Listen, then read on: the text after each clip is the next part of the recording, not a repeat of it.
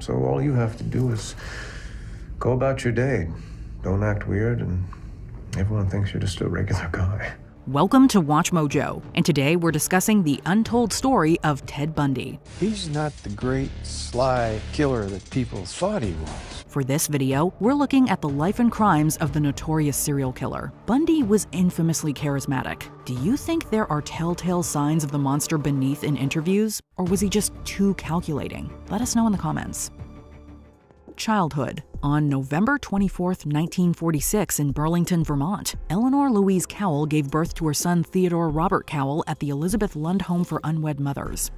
The son we raised was a wonderful, good person he was the perfect young man. To avoid the scandal of having a child out of wedlock, the boy was raised by his maternal grandparents, believing they were his actual parents and that his birth mother was his older sister. He wouldn't learn the truth until later in life. In 1950, Theodore, now Ted, moved from Philadelphia to Tacoma, Washington with his mother, where she met and married Johnny Bundy within a year. Together, they had four children. Our house is on Sheridan Street in Tacoma second house from the corner on the west side of the street. Details of Bundy's troubled adolescence vary, as he gave conflicting accounts later in interviews that usually contradicted what others witnessed. First Relationships. In 1965, Bundy graduated from Woodrow Wilson High School and briefly went to the University of Puget Sound before going to the University of Washington. By 1968, he had dropped out and started working and volunteering in political campaigns. I mean, he was thought to be sort of a rising star in the Republican Party in Washington state.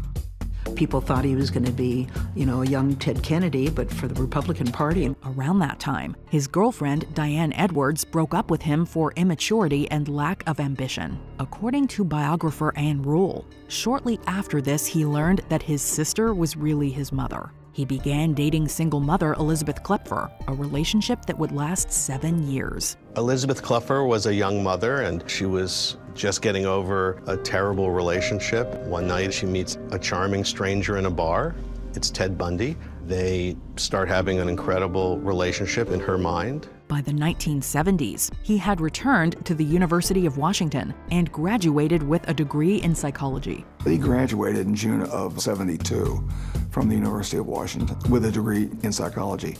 Why does he get a degree in psychology? From my view, he does that because he wants to be able to continue to manipulate people. During this time, he worked at a crisis center hotline and served on the Seattle Crime Prevention Advisory Committee. Unknown to Kloepfer, he had begun to abuse her young daughter Molly. He also started seeing Edwards again, and the two became engaged before Bundy suddenly cut off all communication. Edwards would later express her belief that Bundy had planned this out as revenge. Many of his eventual victims, as well as Kloepfer, shared similar physical traits to Edwards, such as long, straight hair parted in the middle. Bundy would dispute this, claiming that the only commonalities were youth and beauty. Washington murders. Bundy's first known victim was University of Washington student Karen Sparks, although he may have started killing years before. On January 4, 1974, he brutally attacked Sparks in her apartment while she slept. She survived, but was left with permanent physical damage. From January to June, more female college students went missing in Washington and Oregon. Linda Ann Healy, Donna Gail Manson, Susan Elaine Rancourt, Roberta Kathleen Parks, Brenda Carroll Ball, and Georgann Hawkins. Georgann Hawkins was last seen Monday evening shortly after midnight. She had been visiting at the Beta House and was returning to her house just a half block away down this alley. On July 14th, Bundy brazenly abducted two women from Lake Sammamish Park in Issaquah, Washington. With his arm in a sling, he approached multiple women asking for help unloading his boat from his Volkswagen Beetle. Janice Ann Ott agreed to help him. Then, later that day, Denise Marie Naslund did the same. This was the last time they were seen alive, and their remains wouldn't be found for months. And that's when this same suspect, with his arm in a sling, approached Denise Naslund, standing nearby the restroom, with a similar story, and she went with him, we believe, willingly to go help him, and then she was never seen again. Witnesses came forward with descriptions of him and his vehicle, with one having overheard him introduce himself as Ted. With this information, police were able to get a composite sketch out to the media. There were 40,000 people out here on that day, and some of them had been asked by a good looking young man wearing an arm cast to help load his sailboat on the car in the parking lot beyond.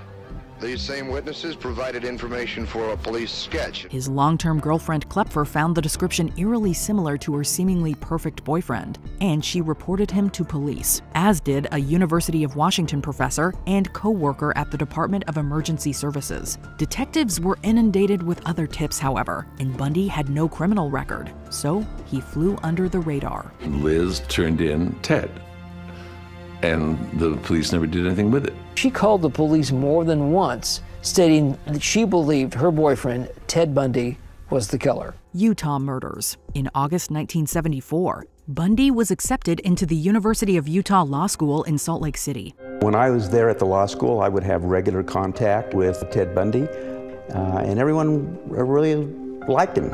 Women started to disappear in the area, including Nancy Wilcox, who went missing on October 2nd days later, University of Utah student Rhonda Stapley was assaulted after she accepted a ride from Bundy. When he was distracted, she was able to escape. Within a week, the daughter of a police chief, Melissa Ann Smith, also went missing. Authorities found her body nine days later in Summit Park. That Halloween, Laura Aime vanished, her body discovered in the mountains a month later. On November 8th, Bundy approached 18 year old Carol DaRonch at the Fashion Place Mall in Murray, pretending to be a police officer, alerting her about an attempted break in to her car.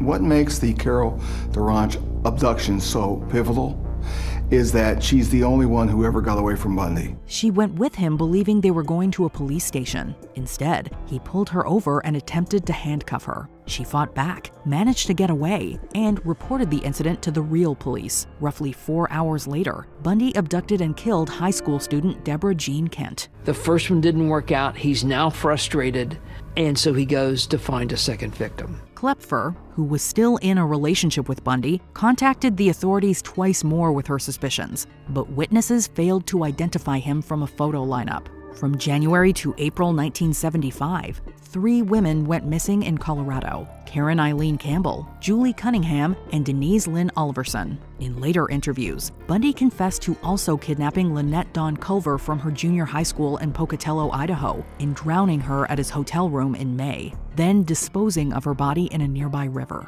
Arrests and escapes. By June 1975, Ted Bundy returned his criminal activities to Utah. On June 28th, Susan Curtis vanished from Brigham Young University's campus. On the night of August 16th, Bundy was driving through a quiet residential area, likely looking for his next victim. Seeing this, Utah Highway Patrol officer Bob Hayward pulled him over and searched his vehicle, coming across a concerning set of items, including a ski mask, rope, handcuffs, a crowbar, and an ice pick. In his car, he had what we would call burglary tools the ski mask, pantyhose with the eyes cut out.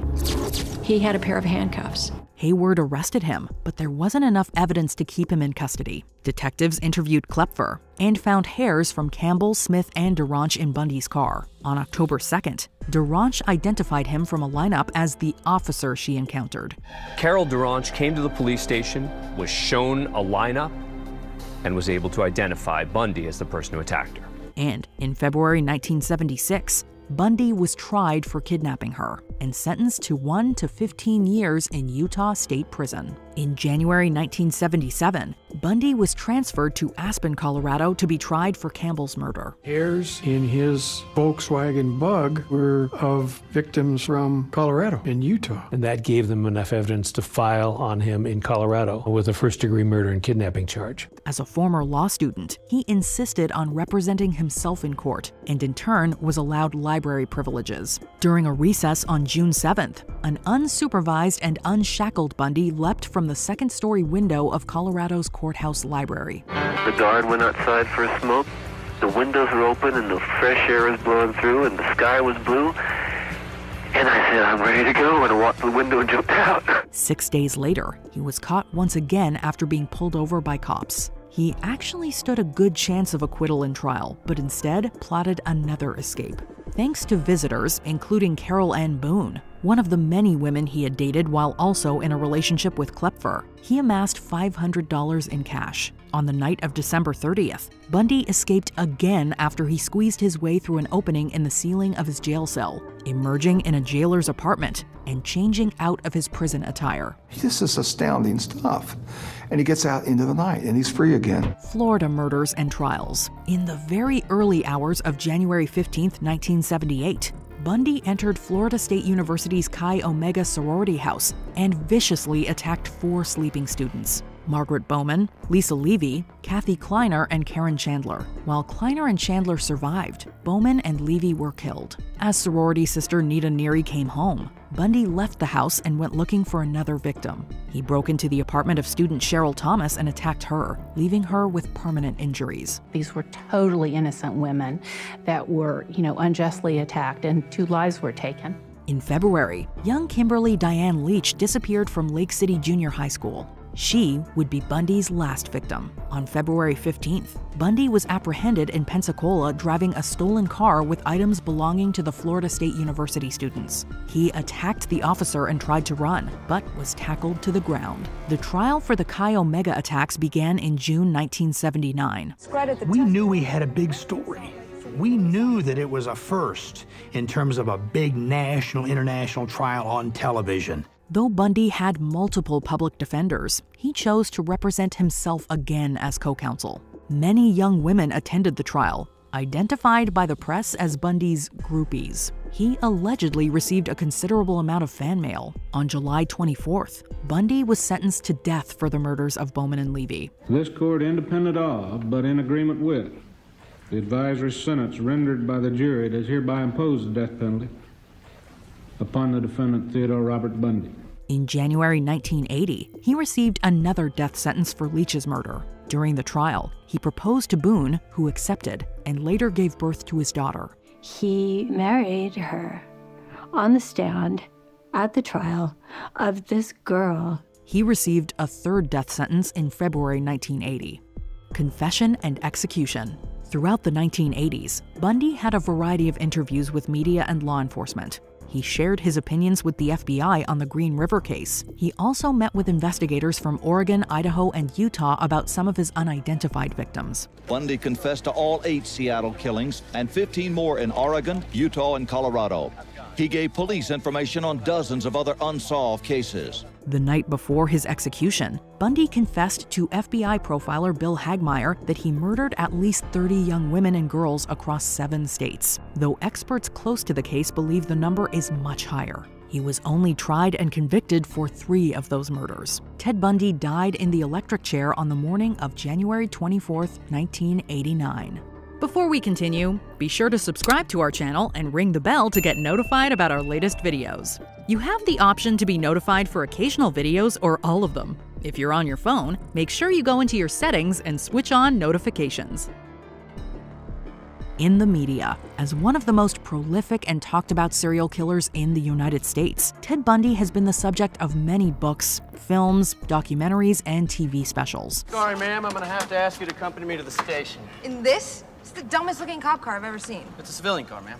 Department budget only goes so far. Oh. Former co-worker and friend Ann Rule released The Stranger Beside Me in 1980, while his former girlfriend Elizabeth Kloepfer published her own a year later. In 2019, Netflix released two Bundy projects by Joe Berlinger, Extremely Wicked, Shockingly Evil and Vile starring Zac Efron, and its companion docu-series, Conversations with a Killer, The Ted Bundy Tapes. I had no idea what I was doing and I had no idea who I was dealing with. But I knew it was a hell of a story. Stories of Bundy have been told from various perspectives, including survivors, investigators, attorneys, and people from his life. They paint a picture of a man who, on the outside, appeared normal and charming, but beneath the surface was anything but. Ted Bundy is a unique story in American crime. It's not just one story, it's many stories.